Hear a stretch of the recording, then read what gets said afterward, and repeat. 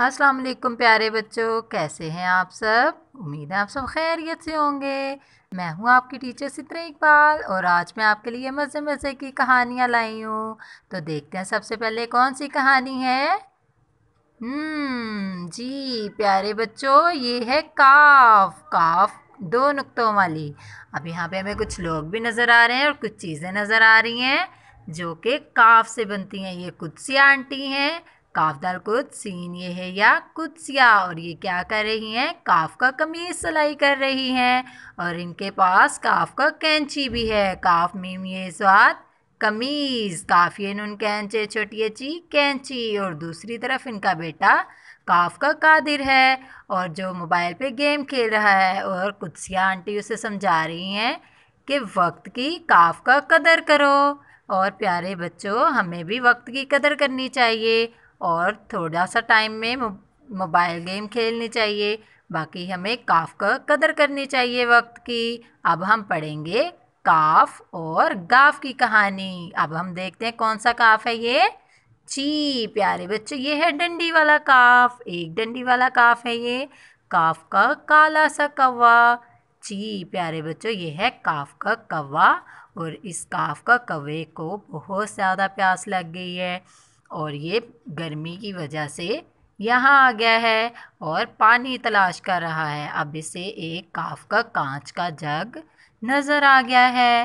प्यारे बच्चों, इसको पास में पड़े हुए काफ का कंकर भी नज़र आ रहे हैं। जी तो अब ये क्या करने वाला है काफ का कौवा? जी काफ वा कौवा ओलिफ वा कौवा। इसने काफ का कौवे ने काफ नून कर काफरे कर काफ का कंकर उठाया और जग में डाल दिया। काफ अलिफ का नून कांचे कांच के जग में। और अब देखें ये फिर से काफ का कवा आया। इसने एक और काफ का कंकर उठाया और काफ का कांच के जग में डाल दिया।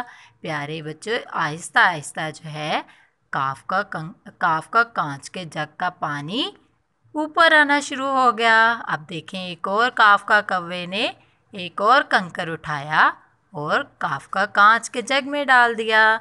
अब पानी जो है वो फुल ऊपर आ गया और कव्वे ने बहुत मज़े से पानी पिया झी भर के और पास ही एक पेड़ पर कोयल भी थी। उसे भी बहुत प्यास लगी गर्मी की वजह से और वो भी जग के पास आ गई काफ का कांच के जग के पास और उसने भी पानी पिया। जी प्यारे बच्चों, ये देखें। जी, प्यारे बच्चों काफवा को ये लमयल कोयल भी आ गई है और ये भी पानी पी रही है। जी, प्यारे बच्चों, अब इन इन दोनों ने तो पानी पी लिया। अब कबूतर, काफ बेवाबू तेरे तर कबूतर भी आ गया है।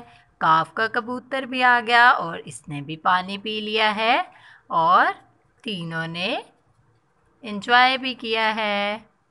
जी, और अब देखें यहाँ पे काफ का कुल्हाड़ी भी है, प्यारे बच्चों।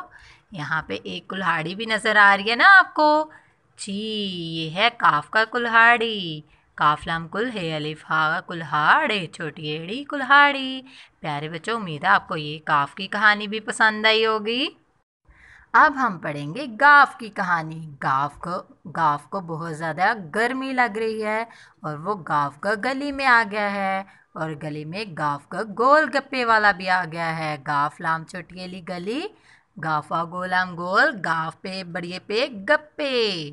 ची तो प्यारे बच्चों, यहाँ पे हमें नज़र आ रही है गाफ गुलजेब, गुल गुल गाफलाम गुल जेब जेब गुलजेब, और ये गली में क्या कर रही है? जी, प्यारे बच्चों गाफगा गुलजेब की गाफगा गेंद गली में आ गई थी खेलते हुए, और वो यहाँ से लेने के लिए आ गई है, और यहाँ पे गाफगा गोले गंडे वाला भी आ गया है।